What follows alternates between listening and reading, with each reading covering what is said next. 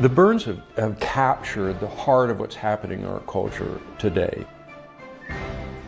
And that is this uh, hunger to build an identity, to, to be of value, to be of worth. And that's the key element of the story of this show.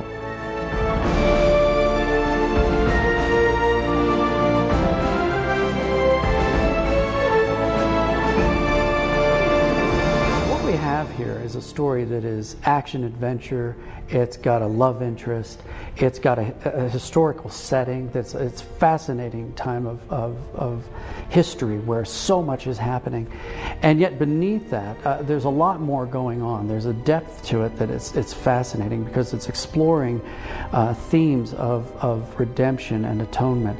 It's exploring uh, through our characters how a man can get lost in who he is and what he's doing. We are able to explore how a man finds himself again and what he bases that on.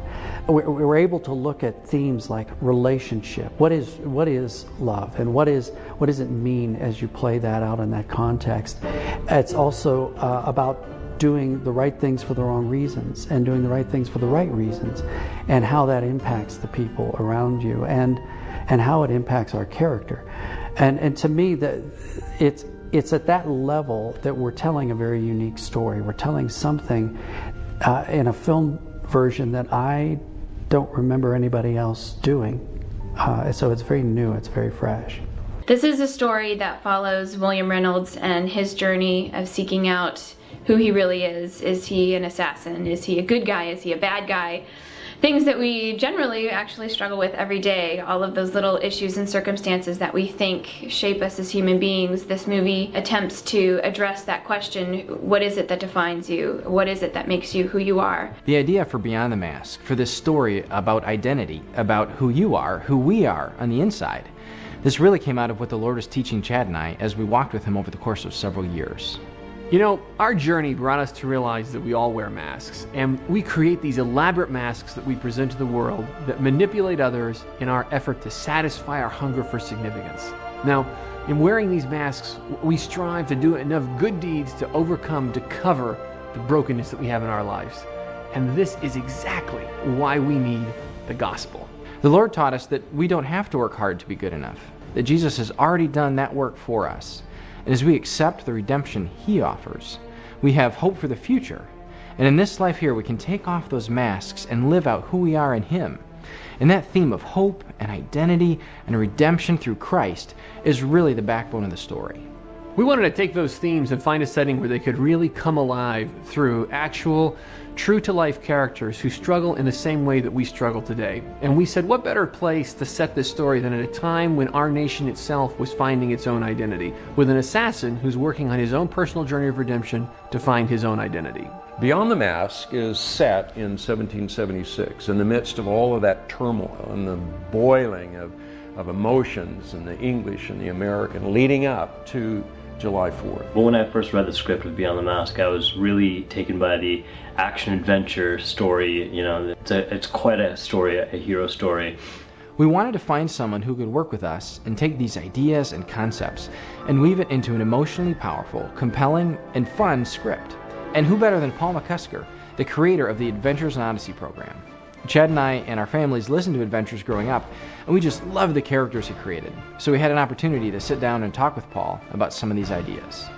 I'm often approached by people who want to make movies, and, and so far I haven't really taken on the jobs because most of the time the ideas just aren't that compelling to me. They're sort of what you would expect, especially in a, uh, from a Christian uh, filmmaker. And I, so I haven't really engaged in that. But when, when Chad and Aaron came to me and said they'd like uh, me to work with them on this film, I was reticent. But then they told me what the idea was. They kind of gave me the premise of what they were after, and it was so unique and so fresh and so unexpected. I thought, I really have to be part of this. And I think when you watch the film, you'll see that the characters have many of the same qualities you see in those who are written for Adventures in Odyssey. We also had the privilege of working with Stephen Kendrick, the co writer of War Room, Courageous, and Fireproof. He came alongside of us and looked at the spiritual scenes and the romantic scenes and really just helped draw out an extra level of emotional quality and really bring clarity to some of those key moments in the story.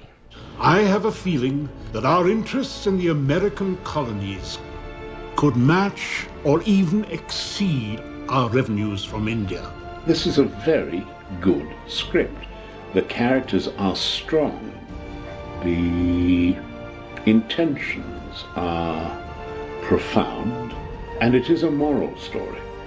You follow Will as he's literally putting on masks uh, to hide what he's doing. In a mask, was he?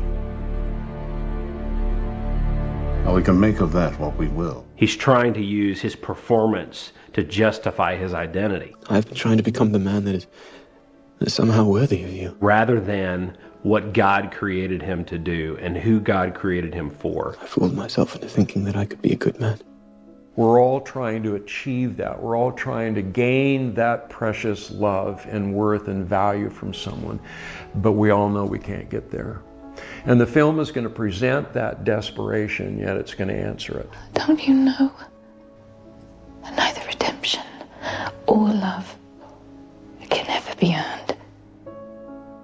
They are both gifts, gifts to be granted freely from the heart of God. And this is where the good news of the gospel comes in. Titus 3:5 explains that it's not by works that we've done in an attempt to become righteous, but it's God and his mercy that saves us. And if we accept that and turn from living for ourselves and put our trust in Him, God creates in us a new identity in Christ Jesus. And it's far better than anything we could find in this world. And that's the good news that Beyond the Mask shares. I have strived in vain to redeem my name. But God, in His mercy, He's done the work that I could never do. He's redeemed my name and He's given me His.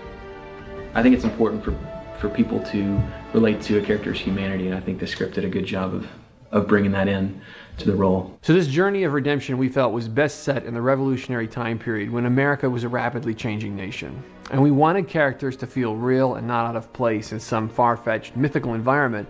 So we took to the history books and really did our research to find true events and places in which a context in which our characters could thrive.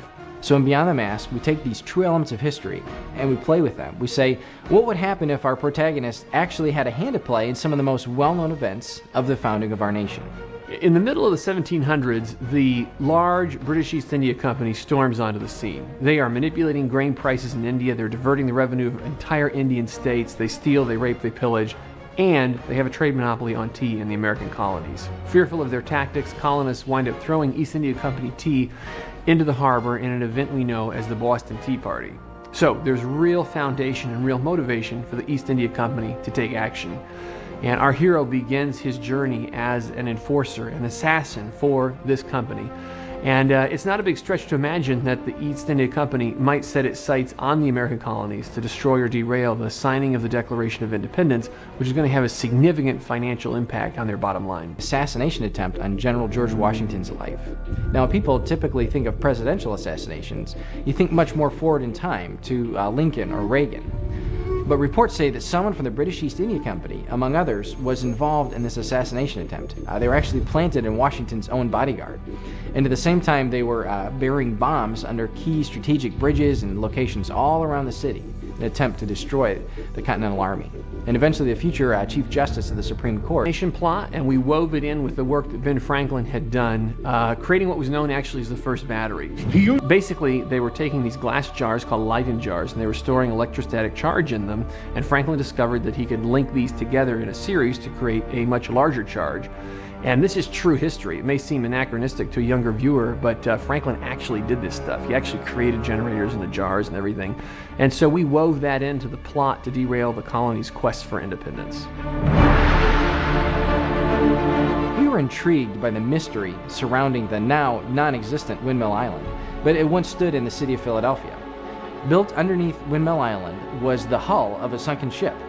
In our story, Charles Kemp's electrostatic generator chamber offers one explanation for the windmill's intended purpose in its mysterious destruction by fire. These facts and concepts were really the framework of the story of what might have been in Beyond the Mask.